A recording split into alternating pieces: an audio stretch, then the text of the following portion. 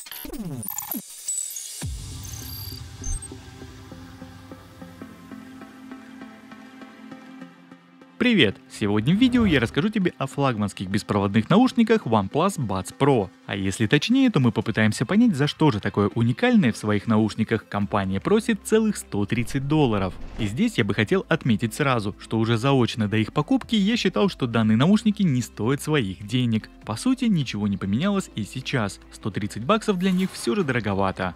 Разумеется, в определенных моментах я наушники недооценил, а вот в каких-то все подтвердилось. Проделав все необходимые тесты и получив довольно неоднозначные результаты, могу сказать, что красная цена этому девайсу не более 100 долларов. И за эти деньги наушники реально классные. Надеюсь, в скором времени цена на них снизится и вот тогда-то они будут топ. Ну а пока Поставляются наушники в коробке из плотного картона, выкрашенной в фирменные цвета компании – красный и белый. Как снаружи, так и внутри все-таки намекает на премиальность устройства. Все под стать цене. Внутри тебя встречает кейс с уложенными в него наушниками, конверт с инструкцией и гарантийным талоном, отдельная упаковка с амбушюрами и коротенький красно-белый кабель для зарядки. Первое, насчет чего я ошибся, материалы кейса и наушников. Вживую устройство действительно ощущается намного круче, чем выглядит в кадре. Я могу с уверенностью сказать, что на это дело производитель не поскупился.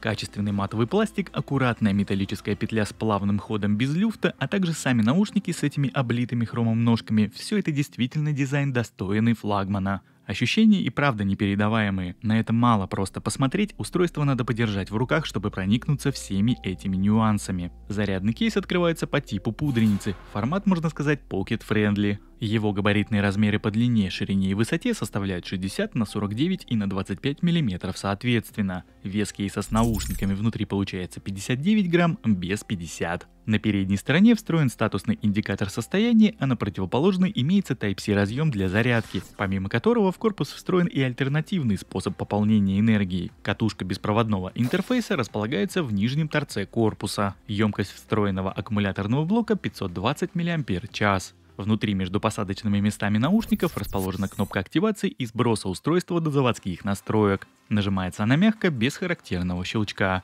В целом, как я уже успел отметить, сборка мега качественная. Тут вообще без претензий. Сами наушники очень удобные. Ножка отделана хромом, а основная часть звуковода матовая. В ушах гарнитура сидит превосходно, в особенности благодаря мягким комплектным амбушюрам. Лично мне менять их не пришлось, подошли самые большие из набора.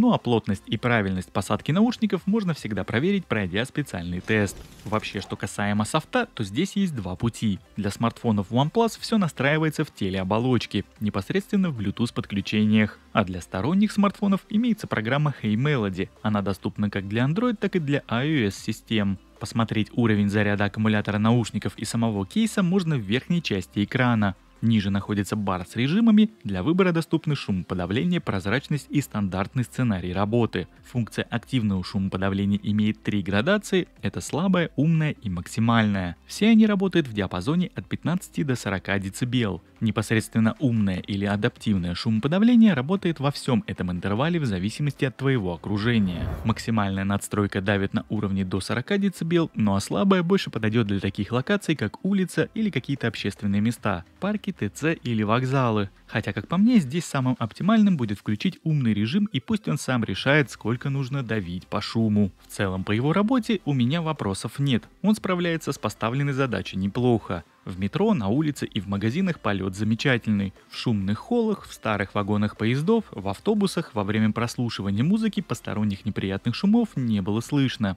Остаются разве что отголоски верхнего диапазона. Но с этим, увы, уже ничего не поделать. И вот немалую долю в этом играет и посадка наушников. Так что напоминаю, тест на прилегание лучше пройти. Обратная сторона ANC, режим прозрачности, здесь немного странно и непривычно работает. В первые секунды активации транслируется абсолютно все вокруг, а затем, как будто бы анализируя окружающие звуки, ярко выраженная высокочастотка гасится. Это, кстати, в особенности хорошо чувствуется, когда в наушники задувает ветер. Вполне допускаю, что так сделано именно для защиты слуха. Но по-хорошему при таких раскладах для разговора с кем-то музыку придется убавить по громкости, что сделать с самих наушников, увы, нельзя.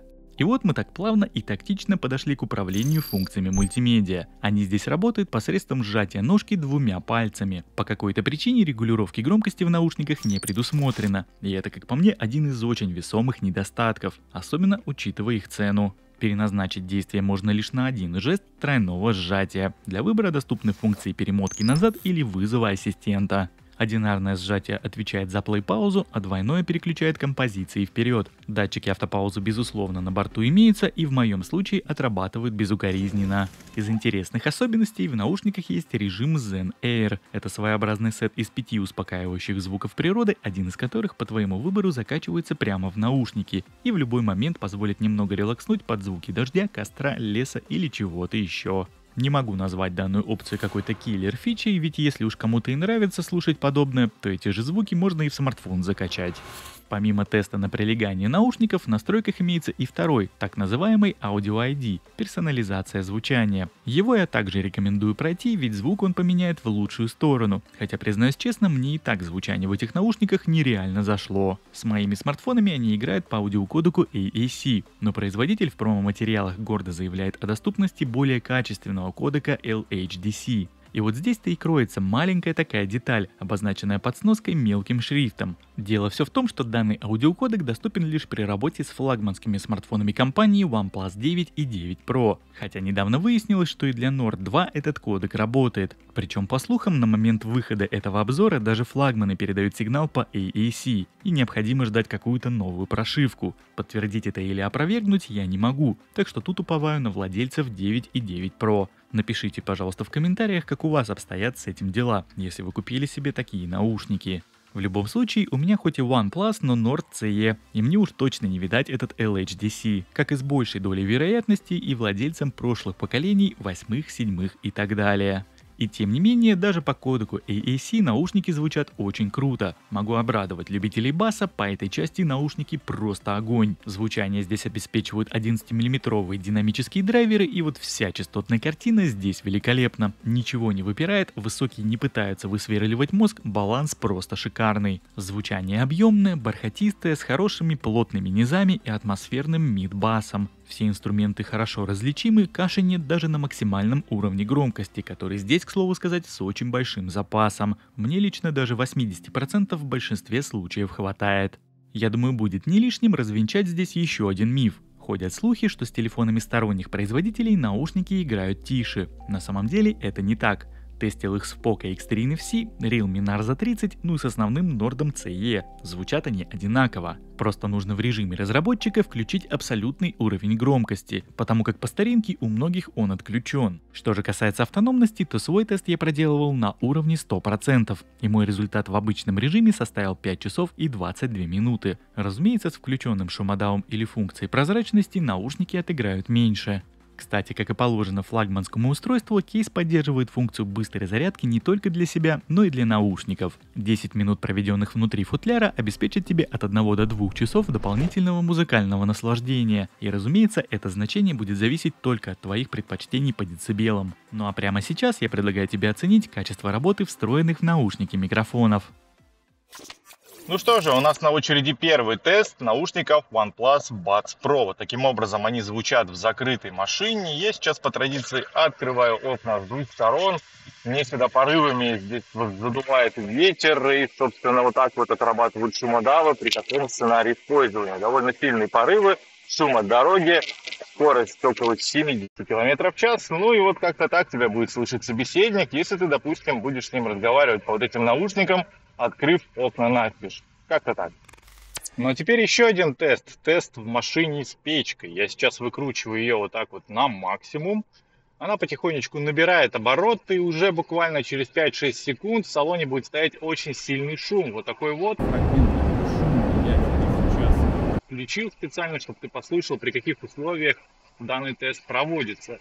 Ну, в общем, вот как-то так тебя будет слышать собеседник, если ты будешь с ним разговаривать по вот этим наушникам, ну, сидя, обогреваясь в машине печкой. Ну, вот так отрабатывают микрофоны в наушниках OnePlus Buds Pro. В торговом центре, если честно нахожусь, народу здесь не так много, зашел попить кофейку, ну и, собственно, решил подснять такой небольшой тестик их работы. Здесь есть такой небольшой фоновый гул.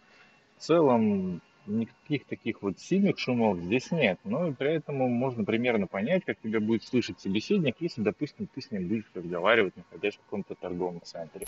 Но ну, у нас очередной тест, тест работы микрофонов OnePlus Buds Pro. Вот таким образом они звучат на проспекте Мира, на этом шумной такой улице. Этот тест проходит далеко не все наушники. Заодно заценим, насколько они хороши, по крайней мере, теми же Oppo Enco Free 2. Как-то так они работают, шумно, опять-таки повторю, ветра практически нет, но тем не менее утро с 7 утра, сейчас все торопятся на работу, поэтому машин очень-очень много. У подъездной дороги я стою и, в как-то так это все работает.